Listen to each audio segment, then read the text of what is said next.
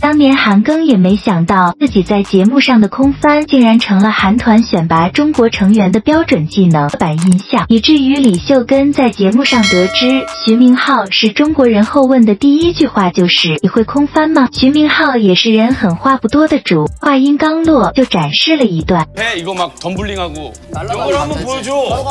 안경 어, 안경 안경 왜? 안경 안경 왜? 안경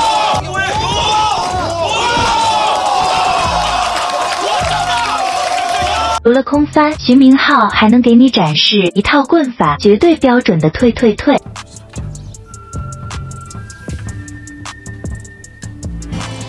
啊你，哟，哦哦，嗯，哇这画面全社容看了都得躲着走。要问这武术的实用性，还能给你展示一波手劈西瓜。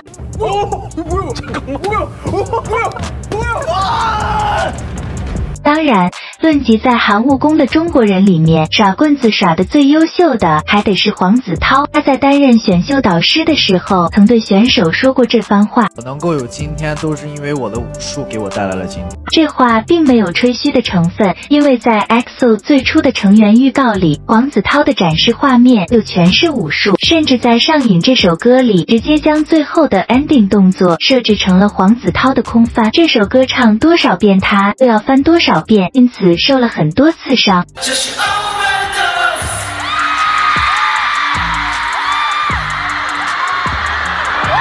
当自称练了二十年韩式脚功的大师在王嘉尔面前展示了一波自己的武术功底，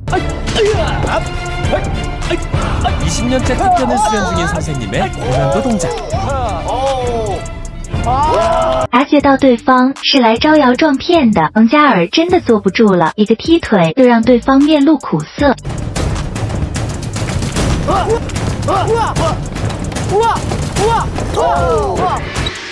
就算是中国女爱豆也会空翻。程潇在棒球开赛现场一身春丽造型的前空翻，轻轻松松在韩网拿到七百万的播放量。어 뭐야? 어 어. 어. 어 뭐야? 어. 어. 야! 야! 看看韩国人这一脸震惊的模样，这下中国人人均会武术这件事真的洗不清了。中国爱豆在南韩都有哪些硬核文化输出？周杰琼的琵琶直接让任哥全场惊呆。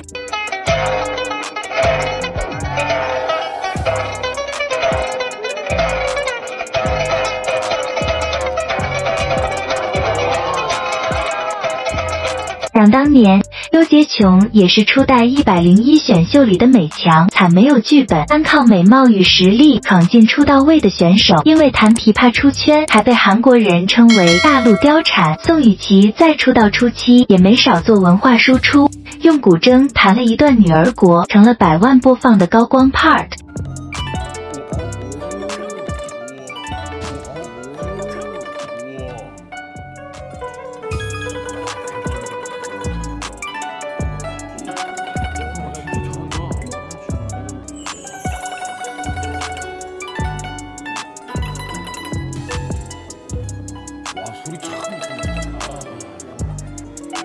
뭐 중력으로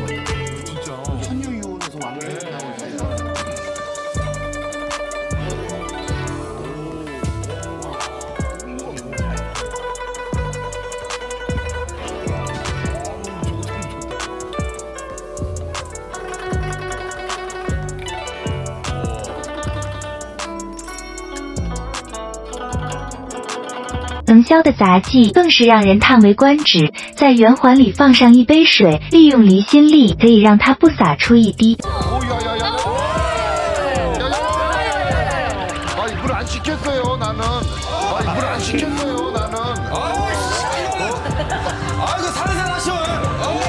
有嘉宾说杯子是用双面胶粘上去的，结果下一秒就被打了脸。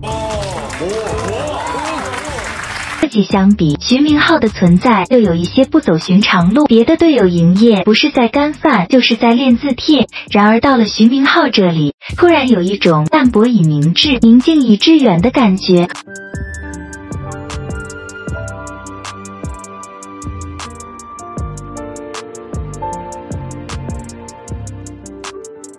和队友一起直播时的才艺展示也是十分与众不同。你见过哪个爱豆的个人技是打快板？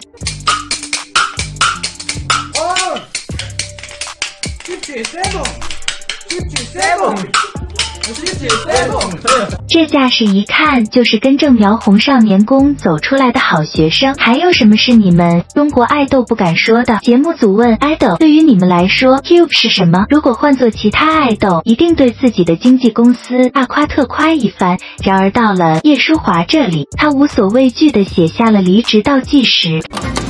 一年呢？看看田小娟都要把删除键敲烂了，方块看到这一幕，心里一定慌得不行吧？面对特别势力的主持人，队友先答对了问题。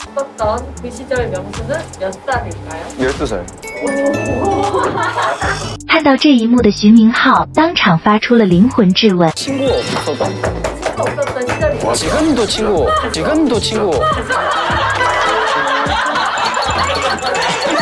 的老师真是在瞎说什么大实话啊！当宋雨琦在《认歌》里面玩词语接龙，管他文不文明，发音接上了就是游戏胜利。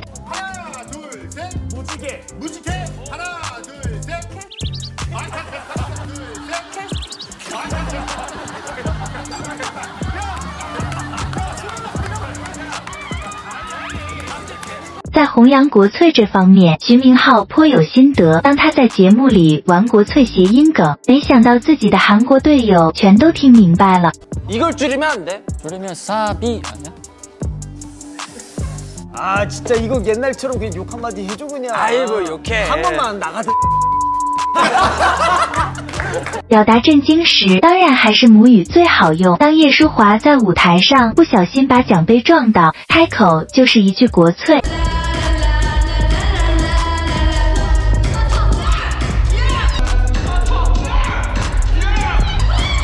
这可让语言绿化战士宋雨琦操碎了心。不过，这中文也有行不通的时候。宋雨琦在猜词游戏里想用中文作弊，没想到叶舒华根本翻译不过来。驾驶证，驾驶证，大사원 미연이만 할 수 있는 거. 할 수 있는 거?